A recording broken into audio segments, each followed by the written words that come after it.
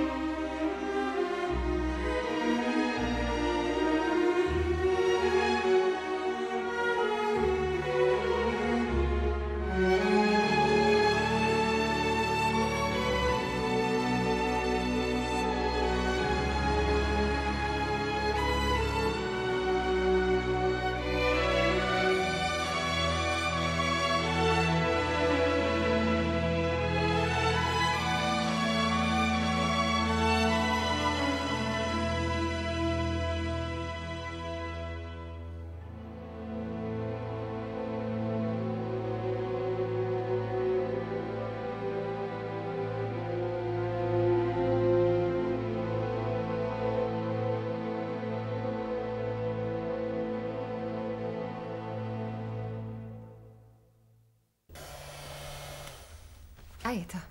Prosím, slečno. Jsem podobná tátovi?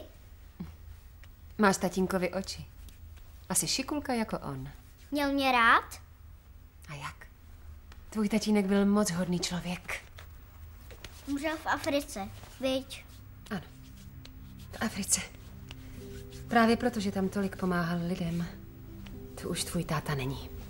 Každý večer, než usnu, se za něho pomodlím. Kdyby tak... Kdyby tak co, mami?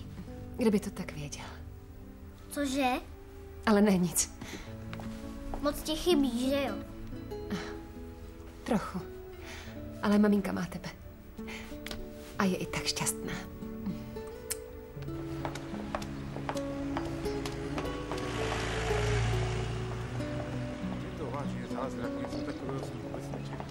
Promiňte. Ne, vy promiňte, hrozně totiž spěchám. Jsem vážně moc rád, že se o nás takhle.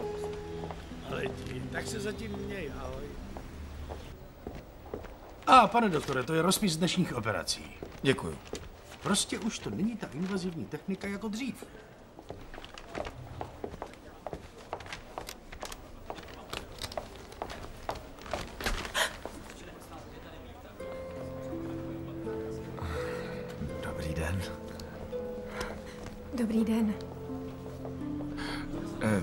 Co, přijela jste včas? Um, vzpomínáte si, taxík. Ano, ano, vzpomínám si. Taxík.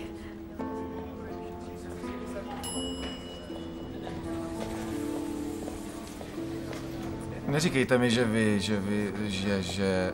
e, Prosím. prosím, Děkuji. do kterého? Promiňte. Ano. Ano, zrovna jsem u vchodu. Já jedu do tři. Ano, jenom okamžik. Ano. E, jeďte, klidně jeďte.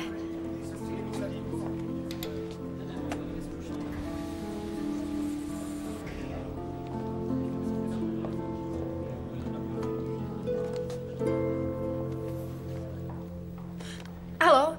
Ano, promiň. Víte, bratrem jsme se neviděli už léta. Znáte ty rodinné historie plné nedorozumění. A když jsem uviděl komisaře, hned jsem pomyslel na nejhorší. To věřím. Ale pořád nechápu, proč Anjo, proč jsem vletěl jako vychřice a odvedl vás takovým způsobem. Umím si ale představit, jak to pro vás bylo strašné. Ano, to bylo. Děsí vás, že přijdete o někoho, koho máte moc ráda, aniž byste mu to dala najevo. Rozumím. Naštěstí to byl jen velký omyl. A taky příležitost zamyslet se nad omily minulosti. No, konec dobrý, všechno dobré. Ano. Mhm. Ano, řekněme, že ano. Dále. Promiňte, paní Nardiová, ale právě přišla ta osoba, co poslal doktor Fanty. Ano, to je nová instrumentářka. Chcete ji vidět? Ano, jistě rád. Pošlete ji sem, děkuju. Dneska tu je poprvé. Fante ji moc chválí, říká, že je vynikající a já mu věřím. Výborně. Promiňte. Ano, halo? Není zač. Dobrý den. Pane doktore, Julia Donátiová. zavolat asi tak Moc mě těší, jsem Tilly Nardiová. Ano. A tohle je profesor Antonio Corradi. Budete mít příležitost seznámit se na operačním sále. A tajemství je odhaleno. Tak vy už se znáte? Ne, vůbec ne. No, jen jsme spolu jeli taxíkem. Aha. Nevzpomínám si, možná. Eh, No dobře, vrátím se na oddělení, promiňte. Pojďte, posaďte se.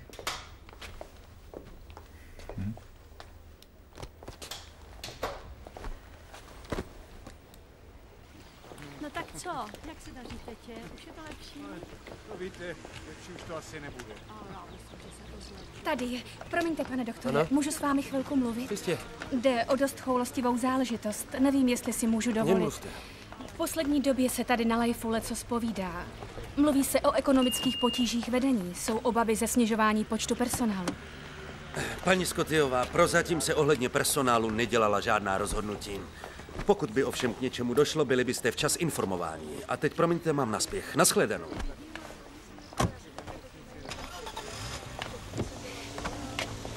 Promiňte, ale pořád mám jisté obavy. My jako střední zdravotnický personál nemáme smluvní záruky jako lékaři.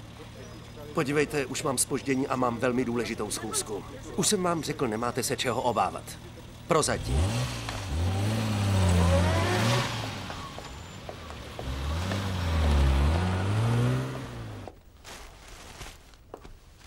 Tady je to. Děkuju. Čtyřicítka. Ty se máš. Já v poslední době trochu přibrala. Promiň, ale na koho se mám obrátit, pokud jde o práci na oddělení? Promluv si o tom se Skotyovou. To je vrchní sestra. Všechno má na starosti ona. Tak dobře. Děkuju moc krát. Jo, málem jsem zapomněla. Za chvíli bude schůzka středního zdravotnického personálu s vedením. Přijdeš tam? Jsou nějaké problémy? Běžné záležitosti. Služby, přídavky, přes časy. Víš, jsi tady nová, měla bys být do toho zasvěcená. Dobře, budu se snažit přijít. Je to důležité, protože ve vedení kliniky jsou teď noví lidé, takže nám to trochu dělá hlavu. Musíme se taky umět ozvat. Jasně. Děkuju za všechno, Alice. Ahoj.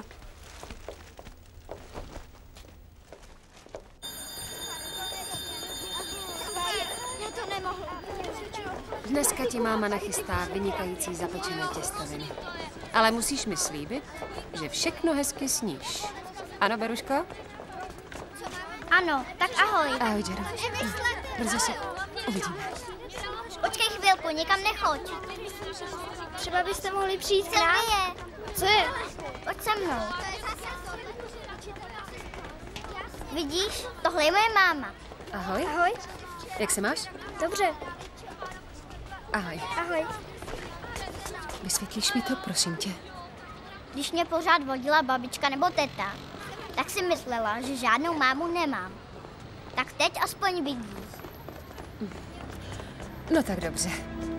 Když už teď Sylvie ví, že máš maminku, tak bys snad mohla konečně jít do školy, co? Už jo. Ahoj. Ahoj. Beruško moje. My, zdravotnický personál, bychom rádi věděli, vzhledem k tomu, co se o věci povídá, jestli na naší klinice opravdu dojde k provozním změnám. A rádi bychom to věděli přesně, protože na tom závisí naše budoucnost. Děkuji. Dobře.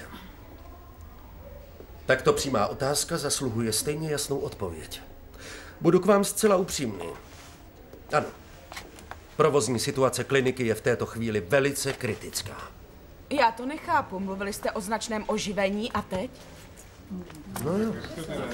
A teď bohužel došlo k velkým investicím z podnětu paní Medičejové. Pochopitelně. Proto, aby se zvýšila prestiž a výkonnost kliniky. To ovšem znamená značnou zátěž pro trvalé náklady. Jak dále jistě víte, To se dalo čekat. získala klinika v poslední době velice vážené a významné spolupracovníky. Bohužel také velice nákladné. Promiňte, pane doktore, ale my bychom rádi věděli, pokud dojde ke změnám, co se stane s pomocným a středním zdravotnickým personálem. Nákladní spolupracovníci nás nezajímají. Přesně tak. Já nebudu dělat rozdíl mezi funkcemi nebo kategoriemi. To si měli spočítat dřív. Řeknu vám akorát toto, paní Skotyová. Že pokud jde o mou profesionální odpovědnost, udělám všechno potřebné k tomu, abych ozdravil hospodaření kliniky. Víc vám slíbit nemůžu. Slova doktora Fantyho vyzněla poněkud drasticky, ovšem. Bohužel je to pravda. Chci vám ale říct jedno. Ti z vás, kteří tady už nějakou dobu pracují, vědí, jak mě a profesoru Olivaresovi i dalším společníkům vždycky ležel osud kliniky na srdci. No, to je pravda. A ta se vzmohla také díky vaší spolupráci. A na to se nesmí zapomínat. Na to nezapomeneme, ať se stane cokoliv. Jménem všech vám děkuji, paní Medičejová. Právě tohle jsme chtěli slyšet.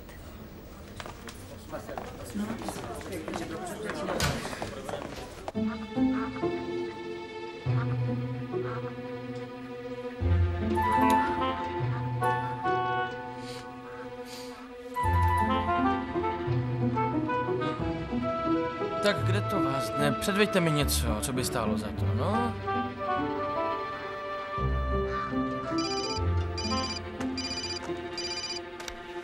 Ano, kdo volá?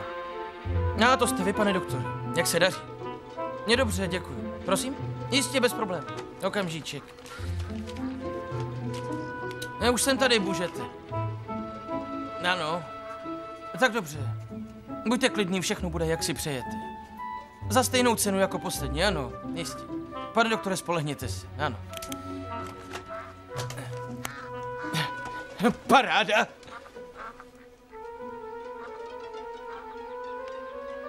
Ano. No to je ono. Ano.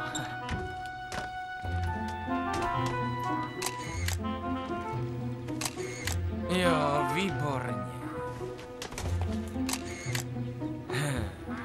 Víš, jak bude tvoje stará ráda, až uvidí tyhle fotečky?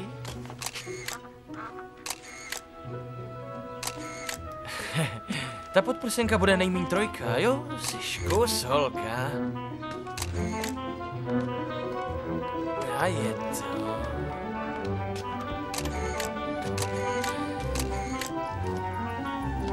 Jo, jo.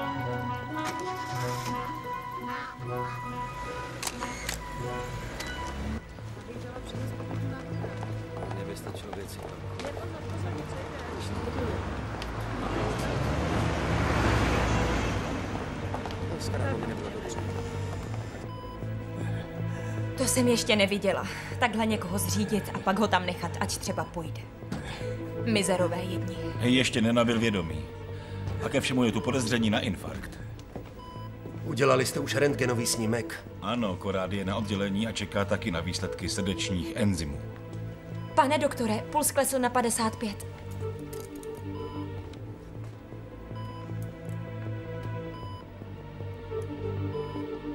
Musíme si pospíšit. Honem. Poslouchejte mě, ten, kdo toho muže takhle zřídil, mu taky ukradl doklady. Ani nevíme, kdo ten člověk je. Já tady za to odpovídám a já musím rozhodnout, jestli potřebuje operaci nebo ne. A upřímně řečeno nevím, jestli, jestli, jestli... Honem, sál je připravený, nesmíme ztrácet čas. Nikdo žádnou operaci nenahlásil, pane doktore, a jestli dovolíte, tady rozhoduju já. podle CT je tam hematom. Pokud nezasáhneme hned, může ten člověk za pár hodin zemřít. A ostatní mě nezajímá. Jdeme na to.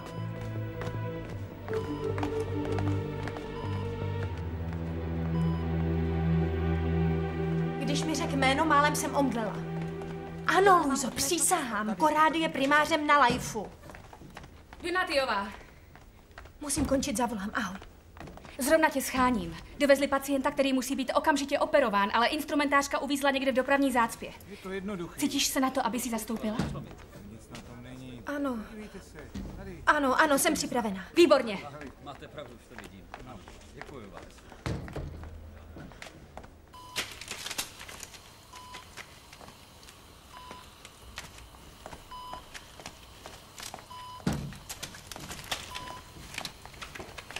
Sotva jste nastoupil a už to na vás spadlo, co? Požádali mě, abych zastoupila instrumentářku. Pokud ovšem proti tomu nic nemáte. No, prosím vás, proč bych měl? Ale mám praxi z nemocnice a jsem dostatečně připravena. Pane profesore? Ano? Intubaci vpravo nebo vlevo? Vpravo, pane doktore. Lebeční trauma s podezřením na infarkt. Jak to vypadá se srdečními enzymy? Výsledky už nesou. Výborně. Bude to dlouhý a složitý zákrok. Budu se snažit. Tak tedy můžeme začít? Připraveni. Začínáme. Tak tady si. No, konečně. Kam pak to jdeme, krasavice? Mhm. Hm, ti to?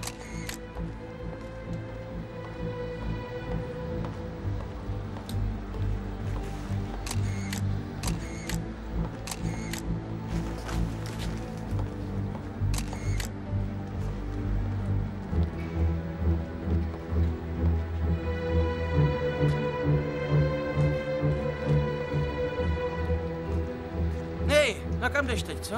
Počkej na mě, lásko, už běžím. Promiňte, pane. Ano? Odcházíte? E, jdu se trochu projít. Dlužíte nám zakát. Jo, tady. Zbytek si nech, to je pro tebe. Hlava je zalitá krví. Rychle. Odsávat. Plastickou pinzetu. Trochu to rozšíříme. Tep je hrozně arytmický. Zastavuje se. Defibrilátor, rychle!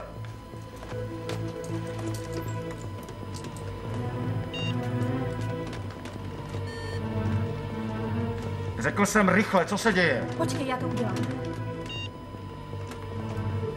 Připraveni. Nabít.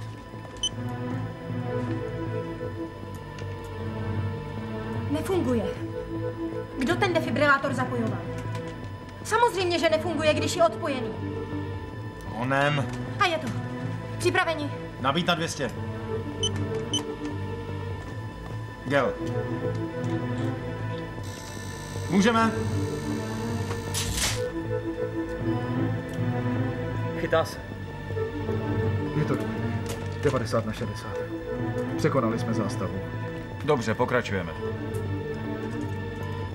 Výborně, moc dobře.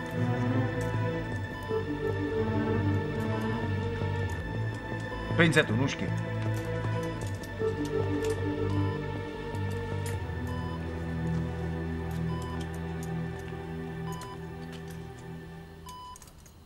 Ach, jak jsi krásná, lásko má neodcházet. Mami, pro boha, musíme jít. Aspoň se rozloučit písničkou s přítelkyněmi. Nadspěv přece není, když se člověk loučí. Už je vážně moc pozdě a navíc si myslím, že v posledních dnech si dámy užili tvého zpěvu až příliš. Vaše matka je moc sympatická. Všichni ji tu měli opravdu rádi. Její písničky a vyprávění mě dokázaly rozveselit. Jsem jí za to strašně vděčná. Ne, ne, to já děkuji vám za lásku. A péči, kterou jí domov Life věnoval. Děkuju. Naschledanou, naschledanou, Nashledanou, Rozo. Nashledanou, mějte se dobře. Ahoj, ahoj, ach, jak si krásná. Víš, co ti řeknu, Deniso? Mně je fakt líto, že Roza odchází. Bez ní tu bude prázdno. Jaké prázdno. V domově je pořád co dělat. Radši se půjdem podívat na děti. Jak je chvíli neslyším, jsem hned nervózní.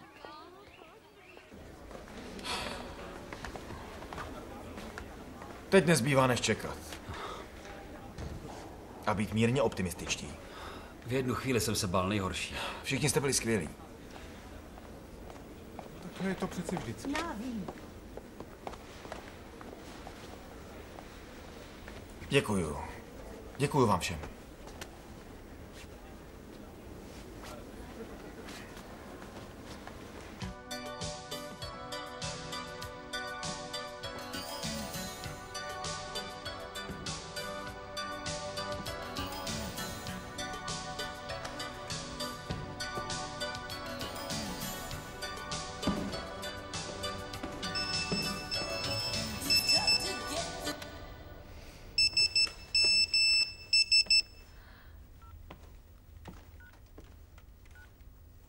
Zavolej, jak budeš moc, líbám tě.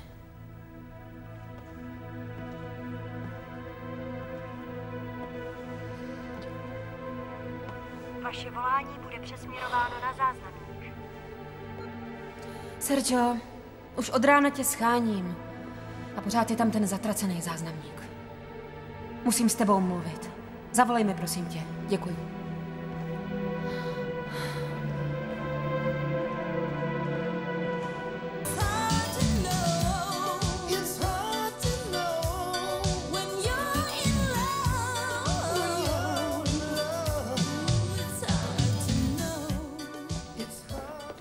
Takže ten náš tajemný pacient je mimo nebezpečí? Ano, řekl bych, že ano, i když ten zákrok vůbec nebyl jednoduchý. Odstranili jsme rozsáhlý hematom. Naštěstí měl srdce v pořádku. Ví se, kdo to je? E, ne, policie nám zatím nic neřekla, ale budou pátrat dál. No, podle mě je hlavní, že je naživu. To je ale vaše zásluha. Musel jste operovat, řekněme, za poněkud stížených podmínek. Měla byste, nebo vlastně měli bychom si udržet Ano. naše spolupracovníky, protože jsou opravdu kvalitní. Jsem ráda, že to říkáte.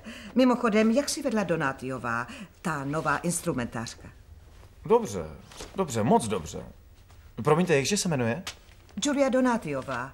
Navíc to je švagrová Sergia Fantyho, totiž budoucí švagrová, protože Fanty si bere její sestru eh, Luizu.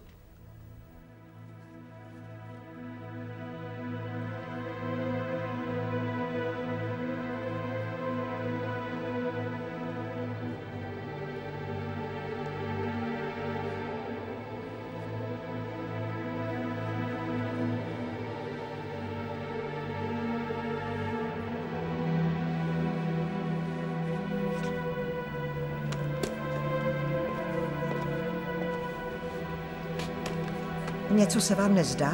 Ne, nic, nic. E, všechno je v pořádku. Poslyšte, pokud jde o tu novou mm, instrumentářku, rád bych měl u sebe někoho, na koho jsem zvyklý, pokud to nebude nějaký problém. Dám vám ohledně toho vědět. Jistě, pane profesore. Děkuju.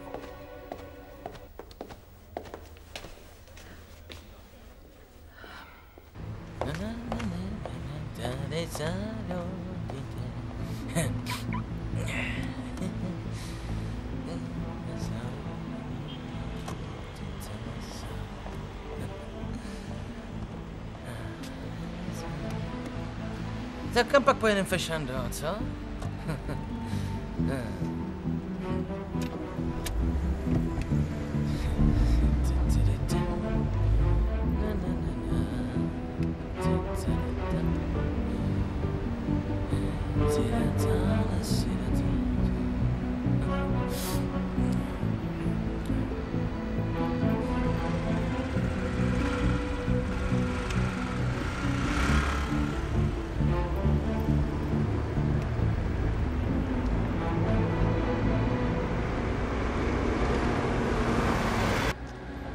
Hlavně mě překvapilo, jak najednou změnil názor z ničeho nic. Když jsem se ho předtím ptala, jak si vedla ta Donátiová, řekl, že byl velice spokojený a pak, pak mi najednou povídá, že by radši spolupracoval s instrumentářkou, na kterou je zvyklý. Jedna instrumentářka nebo druhá, co to mění? Hodně, hodně. Podle mě právě takovéhle zdánlivé maličkosti ovlivňují dobrý chod kliniky. Řekla bych, že nás tíží něco jiného. Já vím, ta zpropadená půjčka. Ale my se z toho dostaneme. Spolu to dokážem. Hm? Jsi moc milá, ty. Taky mě něco trápí, ale radši na to nemyslím. Myslíš Másima? No ano, já jsem ráda, jsem opravdu moc ráda, že jel do Afriky s lékaři bez hranic, jenže, jenže už, už dva měsíce se vůbec neozval. To víš, ozvat se o tamtud asi není jen tak. To já vím. Másimo je výborný kluk, ten si vždycky poradí. Myslíš? Je stejný jako maminka. Nedělej si starosti.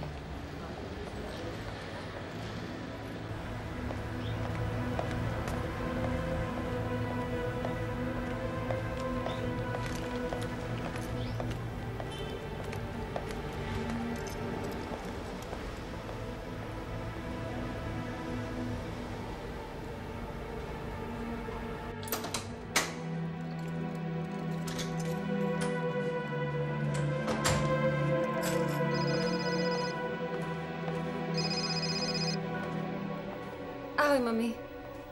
Ne, zrovna jsem přišla k Sergiovi. Ne, na jídlo nepřijdu. Dej za mě pusu Jadě. Ahoj, papa.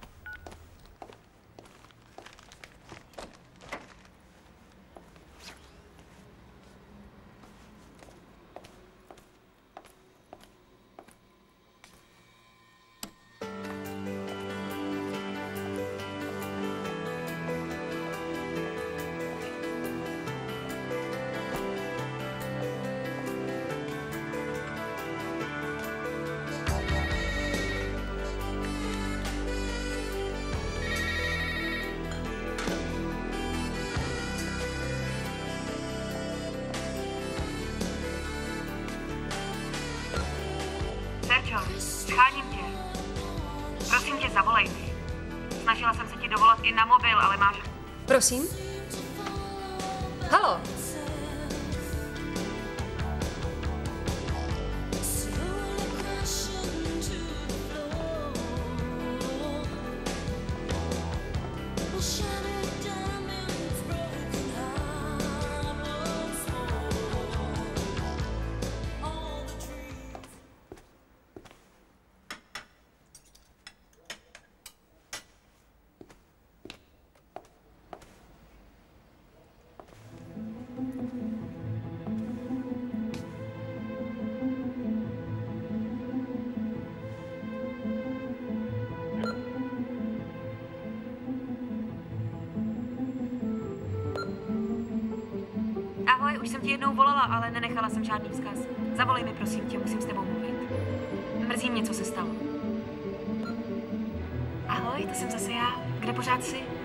Chtěla bych tě vidět. Promiň mi to, ale nedokážu jen tak čekat, až mi zavoláš. Ten syčák. A je to extubován. Pokud by saturace kyslíku klesla, nebo byl pacient dušný, přidejte trochu kyslíku.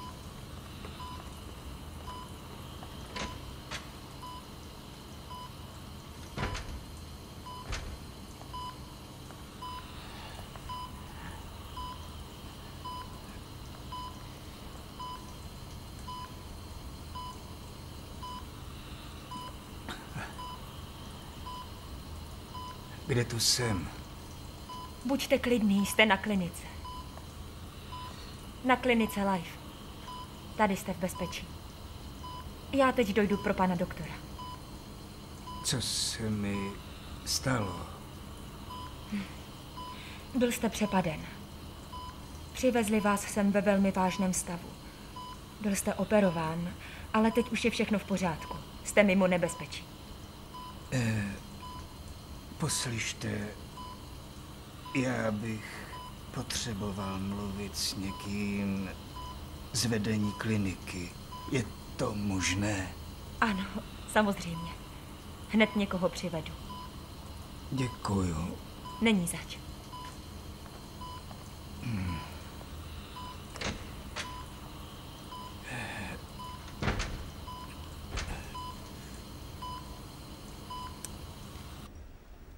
To je všechno, pane řediteli. Dovolila jsem si vás tím obtěžovat, protože bych od vás chtěla radu, jak z té situace ven. Chápu, paní Medičejová, chápu. Přesto mě překvapuje skutečnost, říkám vám to upřímně, že totiž pan profesor Diego Olivares o tom finančním problému vůbec nic neví. No, jak jsem vám říkala, snažím se nechat ho v klidu. On má v současné době také trochu potíže a tak... mm, Pomůžete mi. Hlavně udělám všechno, abych vám okamžitě poskytl půjčku. Děkuju. Takže já vám co nejdřív dodám veškerou dokumentaci. To tak nespěchá, paní Medičejová. Jsem vám opravdu vděčná. Ale to nestojí za řeč. Bude mi potěšením vám pomoct. Pane řediteli, promiňte. Asi to ani nemusím říkat, ale byla bych moc ráda, kdyby to zůstalo mezi námi. Buďte zcela klidná. Naprostá diskrétnost. Děkuji.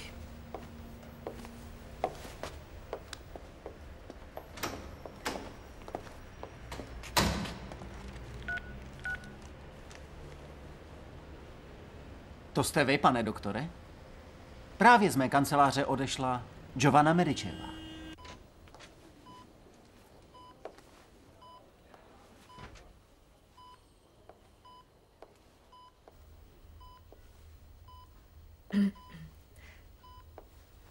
Můžu? Dobrý den. Vy jste chtěl mluvit s někým z vedení Lifeu, tak jsem tady. Ano, děkuju. Ne, ne, ne, jen ležte. Na to je ještě moc brzo.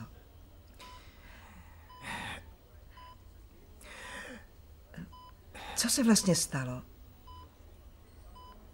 Nejspíš mizantropie. Procházel jsem se sám a najednou od někud vyskočili ti dva.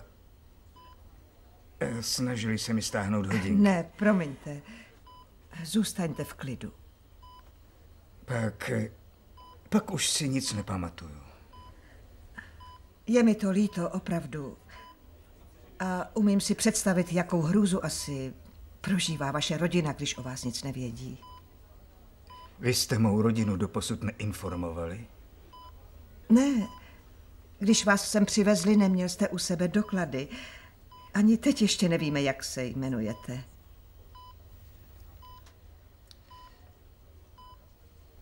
Jmenuji se Denitis. Eduardo Denitis. Z Iron Enterprises. Ocelárny. A ano, vy jste ten Denitis? Oh. Řekněte, v čem vám můžu pomoct? Hmm.